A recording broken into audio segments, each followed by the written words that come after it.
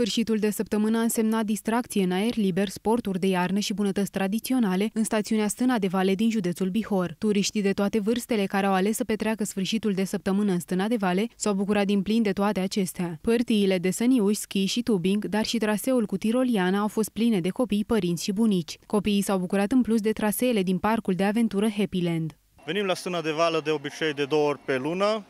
Părtile de schi sunt destul de avantajoase, foarte bune pentru schi și pentru începători. Îmi place să schiez aici, îmi place să fiu la stâna de vale. Zăpada este bună, um, poți să schiezi ușor. Am încercat toate părtile, sunt foarte bune și o să stau toată ziua aici cu prietenii mei și cu profesorii care ne supraveghează.